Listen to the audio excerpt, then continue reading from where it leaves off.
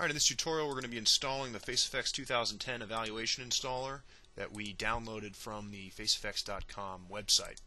Uh, we're going to introduce you to the various components of the installer, uh, like the license manager, FaceFX Studio Free, FaceFX Studio No Save, and the FaceFX and Ogre plugins.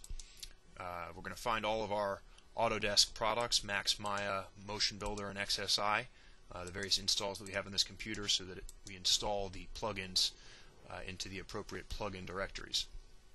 The Ogre plugins are only for Max and Maya 32-bit and 64-bit versions, and uh, you can still export Ogre files using standard uh, XSI Ogre exporters, uh, but this installer only has uh, Max and Maya Ogre exporters. The XSI and Motion Builder directories are used in the FaceFX plugin install. And here's our license manager, which we're installing. Uh, if you haven't uh, run these before, it's highly recommended that you do, uh, but we won't in this case. And then we're going to start up uh, some of the programs that we just installed. Um, you know, the first would be uh, the FaceFX Studio No Save. Now, the first time we open the program, it's going to um, open up the Slade sample character and play an animation just to get us started. Welcome to FaceFX Studio. Change the animation group. It also tells us that a client spec has been created. Um, this is so that FaceFX Studio can find audio files.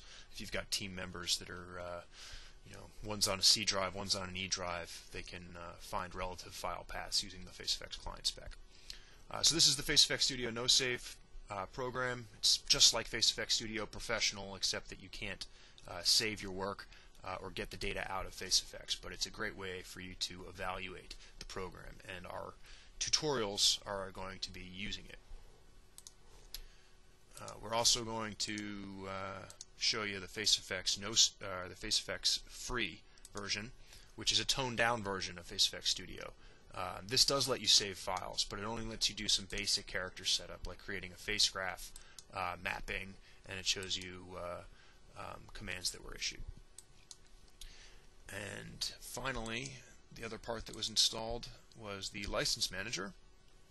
Uh, and this program we log into using the same credentials that we do uh, that we create from FaceFX.com. Uh, we create a new account on FaceFX.com, and then we can log into the license manager uh, with that account. And when we log into the license manager, we're going to see the plugins that we have installed on this computer.